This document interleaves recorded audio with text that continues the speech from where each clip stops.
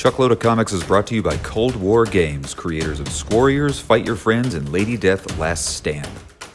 For more information, visit coldwar.us.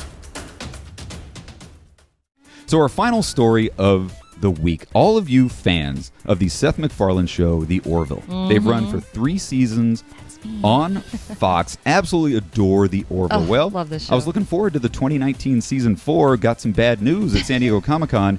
There will not be a season four in 2019 Ah, wait for it though. because it's leaving Fox. What? Orville is not going to be on Fox anymore. Disney is now moving it from the Fox network to it's going to be original Hulu series. You know what? I think that's great. I think it's awesome too. It's well for many reasons. I think that's absolutely badass. Reason number one is that we're going to get more seasons of yeah, the Orville. absolutely. It's nice to know that Disney is not uh, dumping it. It's that that is a perfect show for Disney too. It is. So like I, I don't know why they would have dumped it. Um, I I have two theories as to why they're moving it, Mhm. or one of two theories, is that it's either not doing good on Fox, It's and so not. they're trying a new platform. I know for a fact. Oh, well then never mind. That's it. Yeah. My other one was is Hulu is kind of struggling, I think, for subscribers and Yeah. subscription. So they're thinking, well, maybe let's see how many followers the show actually has that will Yeah. now sign up for Hulu so that they can watch it. And that's the beauty of moving So- it over to a subscription Yeah. service because network television. We Shauna and I used to work at Fox. Uh-huh. Just so you know, if you didn't know this about us, we worked at Fox for like ten years uh, until we moved to Chicago. Fox is notorious for dumping shows that aren't performing well. Yep. When a show is on network television, you are it's it's all based on ratings. They, If you're Mm-hmm. not getting the ratings, they're going to dump you. I know it's the same way with every show. Even on Hulu they're going to dump you, but on network television, you are beholden to advertiser dollars. Right. The almighty advertiser. Yep. So if it's Doesn't not getting the ratings, fan base you have. exactly. People aren't going to watch it if people aren't buying ad time. Yep. You don't have that on, on streaming services because there are no ads. Yep. It's all based on you know number of subscribers. Yep. So it's a it's a lot easier to keep a show going on a subscription service than it is when you're beholden to the almighty advertiser because you have to pay mm-hmm. for that time slot Right. by advertising dollars. You don't have to worry about it on streaming service, Oh, and you don't have to worry about ratings. You can, I mean.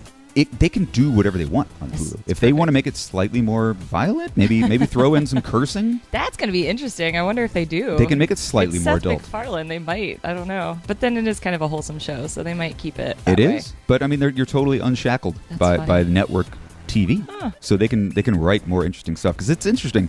The show's slightly controversial. A lot of people Uh-huh. have kind of complained because it's a little bit too sort of agenda based sci-fi. They're really pushing, uh, you know, certain agendas. You know, there's a lot of.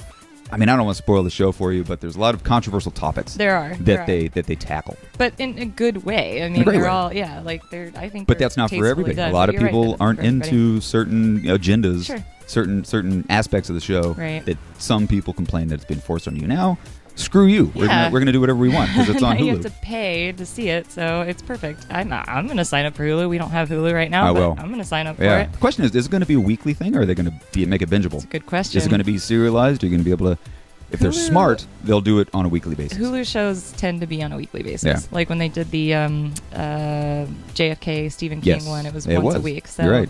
yeah, I think it'll be a weekly basis. So bad news is no Orville in 2019. It's going to be pushed to late 2020. So we got about a year before we get more episodes of the Orville. do you think they're gonna reshoot the season now Yeah. that they know that? Yeah, they I think are? it will. I think it's going to be an original, a Hulu original series. They're going to be like, okay, now we're on Hulu. We can do whatever we want. Let's Mm-hmm. let's start from scratch.